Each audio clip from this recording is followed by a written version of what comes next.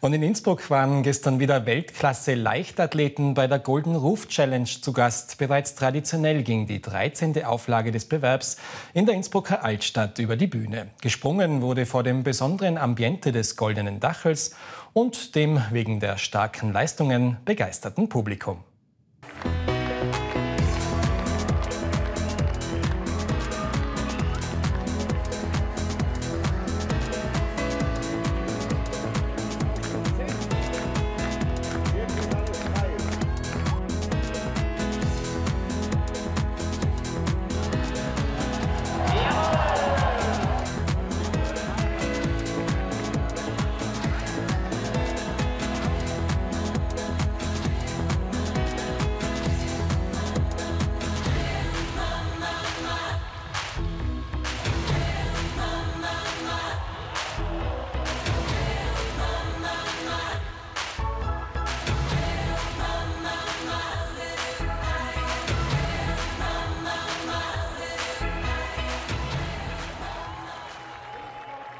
Es geht nicht besser. Wir haben riesiges Wetterglück gehabt, ein kurzer Guss am Nachmittag. Der Abend war perfekt von den Bedingungen her.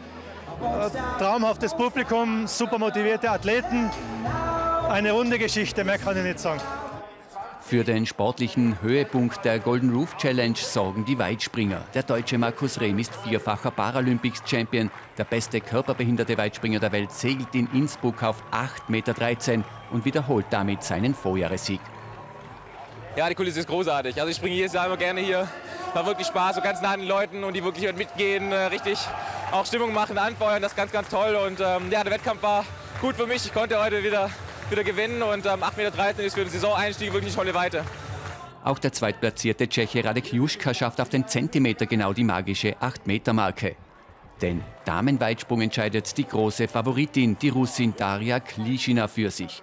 Das Leichtathletikmodel springt bei ihrem Golden Roof-Debüt auf 6,46 Meter. Es ist wirklich einzigartig. Es ist kein Stadion, es sind nur Weit- und Stabhochspringer dabei. Es ist wirklich toll. Ich mag und genieße diese Art von Wettkampf. Auch die Kärntnerin Sarah Lacker genießt den Wettkampf. Die unter 19 Weltmeisterin im Mehrkampf springt als Dritte aufs Siegespodest. Ich bin 6,13 Meter gesprungen im dritten Versuch. Bin sehr zufrieden, weil für mich als Mehrkämpferin ist es gut, wenn ich es unter die ersten drei habe. Ja, passt gut.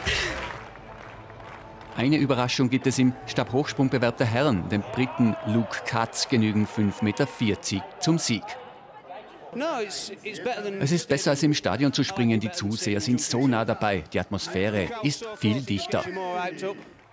Einen tschechischen Sieg gibt es im Stabhochsprung der Frauen. Amalie Swabikova darf sich über übersprungene 4,25 Meter und den Sieg bei der Golden Roof Challenge freuen.